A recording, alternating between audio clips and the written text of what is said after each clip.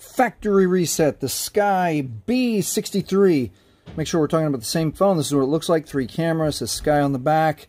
And with the device powered off, we're going to hold volume up and power, volume up, power. And this can take anywhere from just three to five seconds to up to like 10 seconds. We're looking for the little tiny white menu to show up in the center of the screen. Keep holding, keep holding. Keep holding, keep holding. There it is. With volume up only, go to recovery mode, and now volume down is okay. Now we're going to wait for the fallen Android no command.